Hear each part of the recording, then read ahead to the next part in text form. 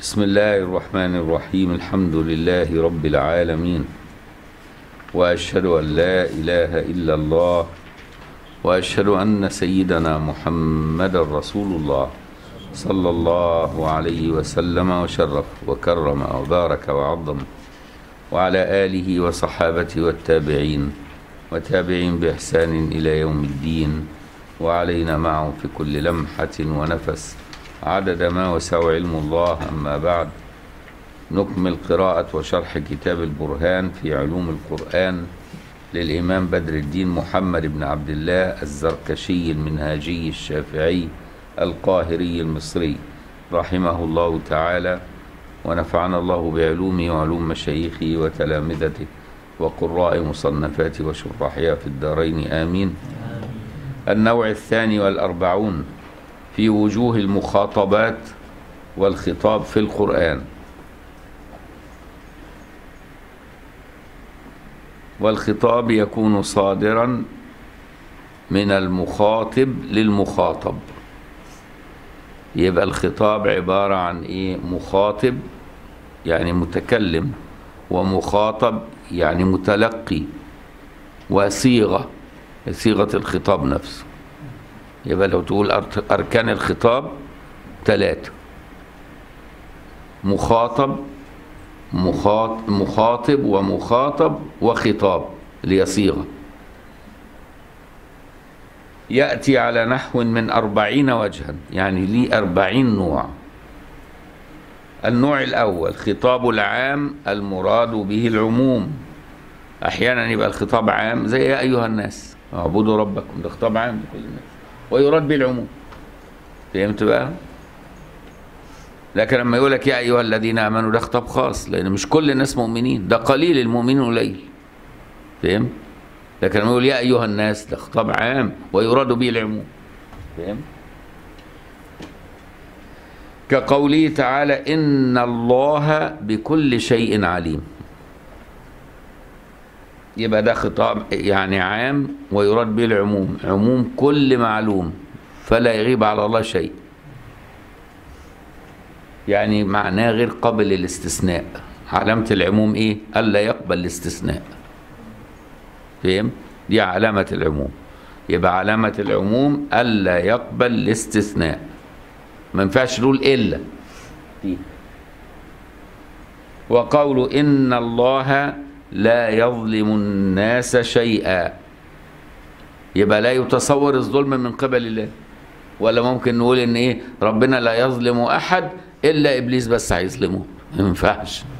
ولا إبليس حتى يظلمه. وقوله ولا يظلم ربك أحدا.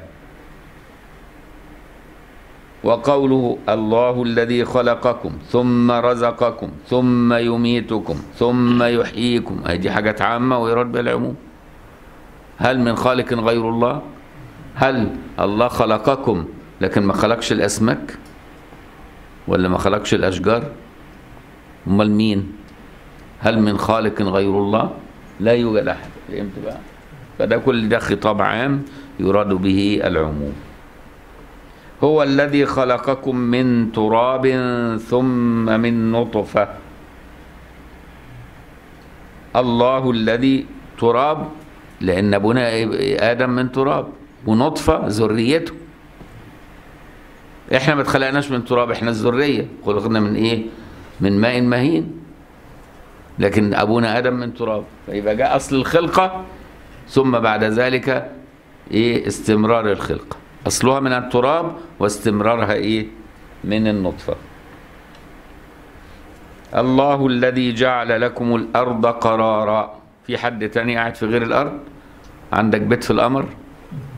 ما هم بيفكروا يعملوا كده لكن الأجواء لا تصلح للحياة البشرية. فيهاش غلاف جوي فيهاش أكسجين ولا ممكن نعمل منتجع في المريخ. مش هينفع برضه آه ليه؟ لأن هذه الكواكب غير صالحة لإيه؟ للحياة البشرية. ربنا خلقنا بطريقة معينة وأعد لنا الأرض بطريقة معينة تصلح مع الحياة.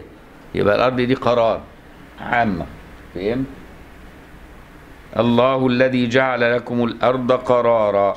وهو كثير بقى في القرآن. النوع ده تلاقيه كتير في القرآن. يا أيها الإنسان أي يا أيها الإنسان وأي يا أيها إيه؟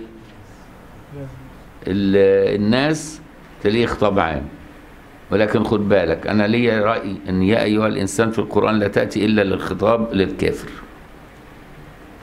أنا مش موافق على دي. تملي يا أيها الإنسان تيجي للكافر. إنما المؤمن لا. واخد بالك؟ إن الإنسان خلق هلوعا. إذا مسه وإذا مسه الخير منوعا. إلا في استثنائه يبقى مش عام. مش إحنا قلنا الاستثناء علامة العو إيه؟ هي علامة الخصوص وعلامة العموم الا يقبل الاستثناء. صح ولا لأ؟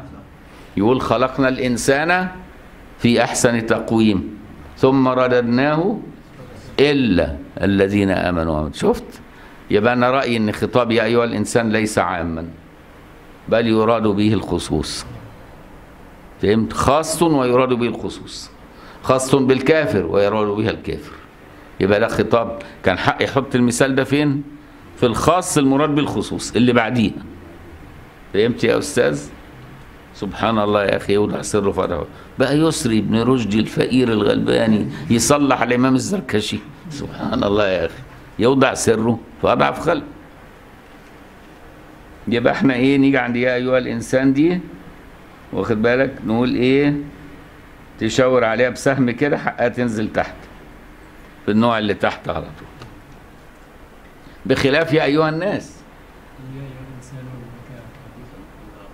آه يبقى أحيانا يا أيها الإنسان إنك كادح لربك كدحا فملاقيه. دي عام يراد به العموم. لكن إيه إذا استثنى يبقى ما ينفعش. هنا يا أيها الإنسان ما غرك بربك الكريم الذي خلقك. برضو دي عامة على فكرة. دي عامة ليه؟ لأنه ما استثناهاش. لما تيجي تقرأ الايات دي ما فيهاش فيها استثناء. وشوف ربك من رحمته بيخاطب تملي. وبعدين مين اللي اتغر؟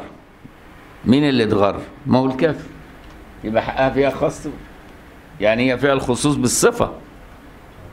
هل يدخل فيها النبي؟ هل يدخل فيها الصالحين والأولياء؟ ما يدخلش. فاهم؟ لكن يدخل فيه كل مغرور. والمغرور اللي اتبع إيه؟ المغرور اللي هو إبليس. اللي هو إمام المغرورين فهمت؟ لا يغرنكم بالله إيه؟ الغرور. الغرور اللي هو مين؟ إبليس. يبقى برضو يا أيها الإنسان إيه؟ ما غرك بربك كريم. كلا إن الإنسان لا يطغى. ان رآه استغنى؟ مين اللي بيطغى؟ الظالم المجرم. أول ما يستغنى بالنعمة يطغى بيها يبقى ده المؤمن مش كده. فهمت بقى إزاي؟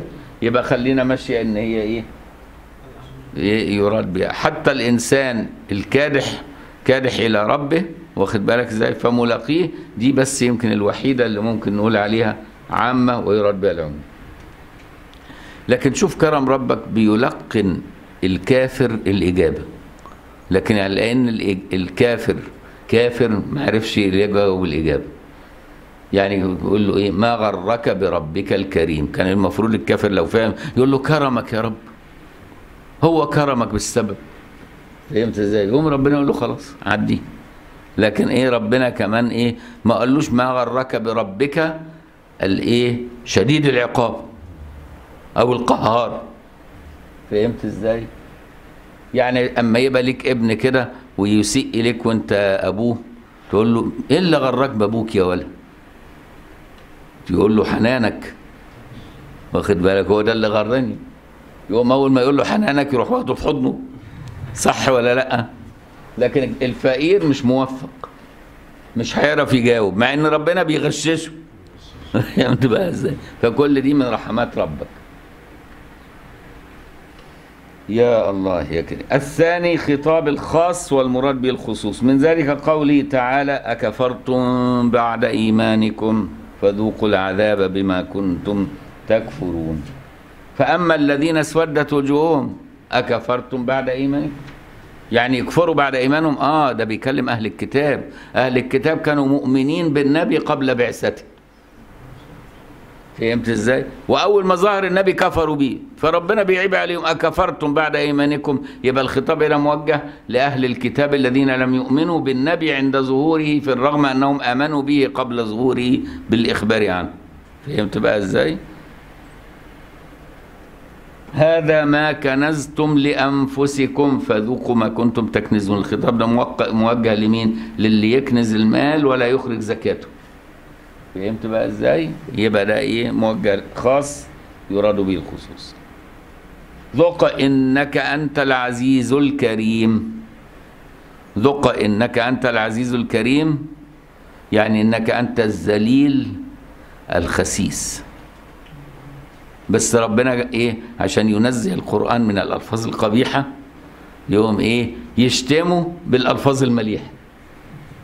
شفت بقى من كلام من جمال الأدب؟ أنا كان ليا جد من الأجداد جدي من ناحية جدي أبو أمي جدي حسين الله يرحمه كان لا يخرج منه القبيح ابدا. عمري ما سمعته القبيح وعاش 85 سنة. عمري ما سمعته يخرج منه لفظ قبيح لا في حال غضبه ولا رضاه رحمه الله. فكان أما حد من ولاده هو أنجب خمس بنات وولد. البنات دي إحداهم كانت أمي. فكان أما يزعل من حد من ولاده يقول إيه؟ يا أستاذ يا محترم. يا ست يا محترم. لو قال يا ست يا محترمة معناها هي قليلة الأدب. على طول كده. هم يفهموها كده على طول. يبقى كده زعلان منهم جدا. ويقعد بالأسبوع بقى لما حد يعمل منهم حاجة بالأسبوع يناديه فين الست المحترمة؟ ليه ما بتاكلش؟ تقوم تيجي تاكل بالعافية. ما إنه ما يخرج أو زي, بالظبط إيه ذق إنك أنت العزيز الكريم. فهمت إزاي؟ الكلام هنا موجه للكافر المجرم. لكن ربنا بيخاطبه بخطاب إيه؟ المحترم. فهمت إزاي؟ يقوم إيه؟ يعني يبكته أكتر. يا أيها الرسول بلغ ما أنزل إليك من ربك. طبعا ده خاص يراد بالخصوص. للنبي على طول. وبلغ إيه؟ بيخاطب- بيخاطبه برضه يراد به الخصوص. ما أنزل إليه من وحي. لكن مش شرط يبلغ الناس هو عنده كام جلابية ولا عنده كام آه، شبشب ولا عنده كام سواك ولا عنده كام سيف. دي ما تفرقش. هو يبلغ اللي أنزل إليه من ربه يبقى برضه إيه؟ يبقى خاص ويراد به الخصوص. وقول فلما قضى زيد منها وطرا زوجناكها لكي لا يكون على المؤمنين حرج. وغير ذلك بقى الخطابات دي كتيرة الخاصة اللي يراد بها الخصوص. زي والله يعصمك من الناس. خاص يراد به الخصوص فهمت؟ وهكذا. كتير بقى هتلاقي. زي إنا أرسلناك شاهدا ومبشرا ونذيرا وداعيا الله بإذنه وسراجا منيرا. كل خطاب موجه للنبي واخد بالك إزاي؟ ويراد به بيان فضيلة يبقى خاص يراد به الخصوص. وإنك لعلى خلق عظيم. لكن في خطابات تانية موجهة للنبي ومش مراد بها النبي. مراد بها الأمة كلها. وأحيانا الخطاب موجه للنبي والمراد بالكافر. يا خبر أبيض معقول؟ آه معقول. مش بيقول فإن كنت في شك مما أنزلنا إليك فاسأل الذين يقرؤون الكتاب من قبلك فقال أنا لا أشك. يبقى الخطاب موجه للشك. فهمت إزاي؟ بس في سورة خطاب للنبي فإنه النبي غير مراد. فهمت بقى إزاي؟ فدي نماذج للخطاب في القرآن كثيرة جميلة ليها حاجات كثيرة. لئن أشركت ليحبطن عملك. والنبي عمره ما هيشرك فهمت إزاي؟ يبقى لئن أشركت أيها المشرك. فهمت إزاي؟ في حين إن تلاقي الخطاب دي شكلها موجهة للنبي في الحين إنها موجهة للمشرك. وهكذا بقى كتير.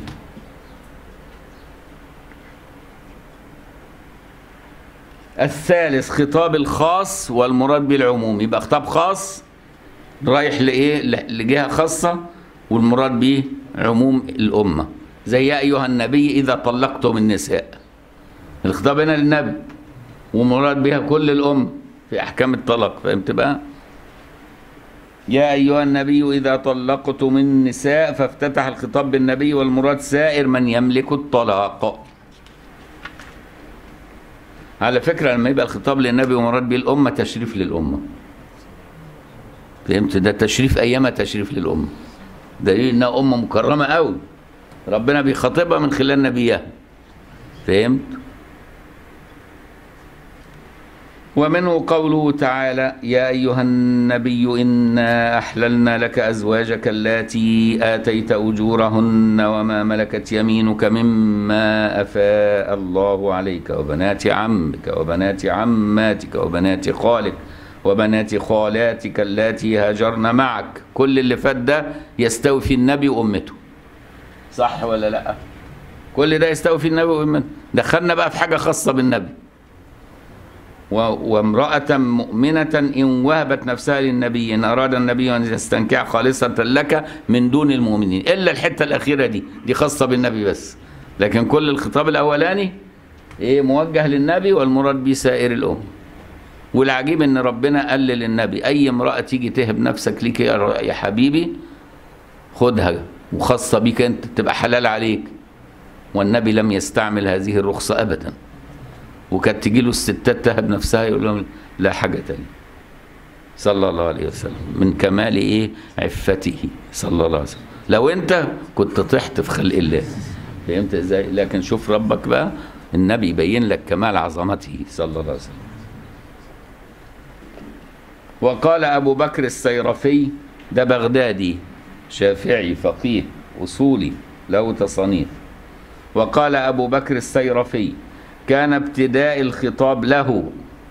يا أيها النبي فلما قال في الموهوبة اللي هي آخر حتة خالصة لك علم أن ما قبلها له ولغيره. فهمت إزاي؟ وقوله تعالى وإذا كنت فيهم فأقمت لهم الصلاة.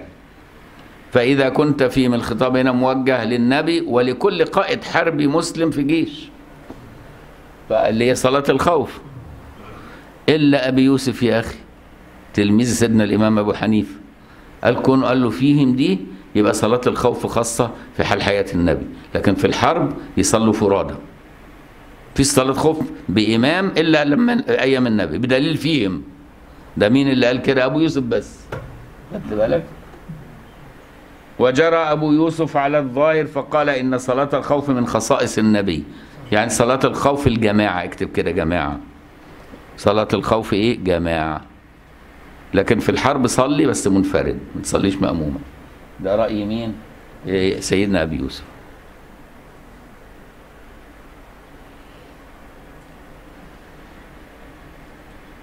وأجاب الجمهور بأنه لم يذكر فيهم على أنه شرط. الجمهور ردوا على أبو يوسف. قالوا يا أبو يوسف اهدى كده خد نفس عميق وفكر معانا.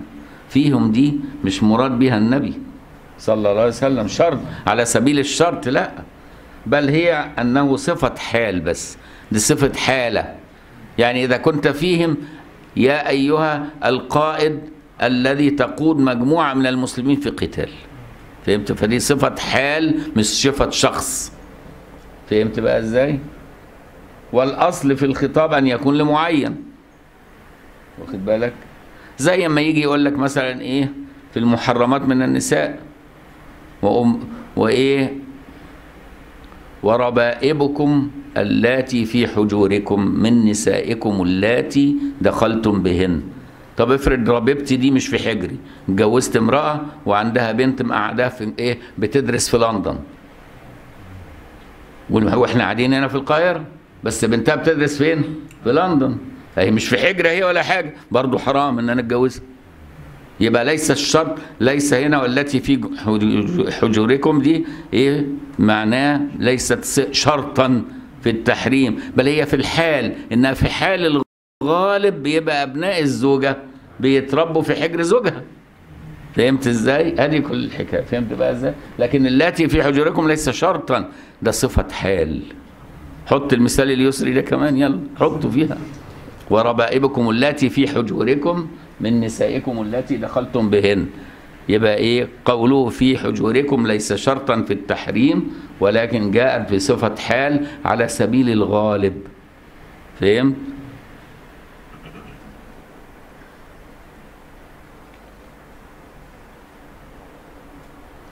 وقد يخرج على غير معين. وقد يخرج على غير معين. ليفيد العموم. كقوله تعالى وبشر الذين آمنوا وعملوا الصالحات أن لهم جنات. هل, هل هنا عين مؤمن معين؟ لا. لكن هو عين مؤمن على حالة معينة. أي مؤمن بس في الحالة دي يبقى مؤمن وعمل الصالحات. فهمت؟ يبقى خرج الكلام على غير معين. وفائدة الإيذان بأنه خليق بأن يؤمر به كل أحد ليحصل مقصوده الجميل وكقوله ولو ترى إذ فزعوا فلا فوت. ولو ترى إذ فزعوا. ولو ترى هنا هو خاص بالنبي ولا ولو ترى أيها الإنسان حال إيه قيام الساعة. فهمت إزاي؟ رغم إن الخطاب للنبي لكن خاصه لكن يراد به العموم. أي إنسان في هذا الموقف هيرى إيه؟ ولو ترى إذ فزعوا فلا فوت. أخرج في سورة الخطاب لما أريد العموم وللقصد إلى تفظيع حالهم. وأنها تناهت في الظهور حتى امتنع خفاؤها فلا نخص بها رؤية راء بل كل من يتأتى منه الرؤية داخل في هذا الخطاب. كقوله تعالى وإذا رأيت ثم رأيت يعني أيها الرائي مش النبي أيها الرائي في الجنة يعني. وإذا رأيت ثم رأيت يعني هناك ثم يعني هناك. وإذا رأيت ثم رأيت نعيما وملكا كبيرا. لم يرد به مخاطب معين بل عبر بالخطاب ليحصل لكل واحد فيه مدخل مبالغة فيما قصد الله من وصف ما في ذلك المكان من النعيم والملك ولبناء الكلام في الموضعين على العموم لم يجعل لترى ودليل بناء الكلام على العموم هنا في الموضعين إيه؟ إن ترى تملي يبقى ليها مفعول به. واخد بالك؟ هنا ما لهاش مفعول به. فهمت إزاي؟ ما لهاش مفعول ظاهر يعني. فهو ده من علامات العموم. لأن لو كان ليها مفعول واظهره يبقى المقصود إن الكلام مخاطب للإيه؟ للرائي. فهمت إزاي؟ ولبناء الكلام في الموضع العموم لم يجعل لترى ولا لرأيت مفعولا ظاهرا ولا مقدرا ليشيع ويعم. وده كلام مين؟ الزمخشري في الكشاف. نقله بالسطر بالظبط. يعني اللفظة دي جايبها من الزمخشري في الكشاف. وأما قوله تعالى ولو ترى إذ المجرمون ناكسوا رؤوسهم عند ربهم. فقيل إنه من هذا الباب أيضا. ومنعه قوم وقال الخطاب للنبي صلى الله عليه وسلم ولو للتمني لرسول الله كالترجي فيه لعلهم يهتدون لأنه صلى الله عليه وسلم تجرع من عداوتهم الغصص. الغصص يعني إيه الشدائد يعني ما لا يبتلع يعني. فجعله الله كأنه تمنى أن يراهم على تلك الحالة الفظيعة من نكس الرؤوس صم صما عميا ليشمت بهم. وإن كنت كلمة يشمت دي مش من أخلاق النبي. فهمت إزاي؟ النبي ما كانش يشمت ولا يتشف. ويجوز أن تكون لو امتناعية. لكن أنا أرد رأيي بدل ما يقول ليشمت بهم ليرى نصرة الله له. يبقى أجمل ما نقول ليرى ليشمت به. ليرى نصرة الله له فتقر عينه. تبقى كده لفظة جميلة مناسبة إيه؟ لعظمة النبي. مش كده برضو؟ يبقى فوقيها كده تقول إيه؟ من نكس الرؤوس صما عميا ليرى نصرة الله له فتقر عينه ويذهب حزنه.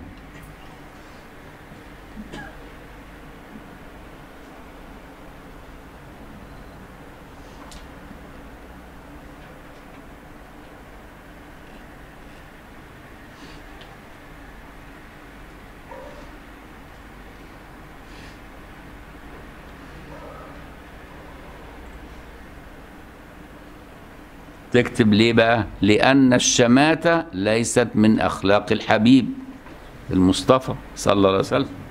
لأن الشماتة والتشفي ليستا من أخلاقه صلى الله عليه وسلم.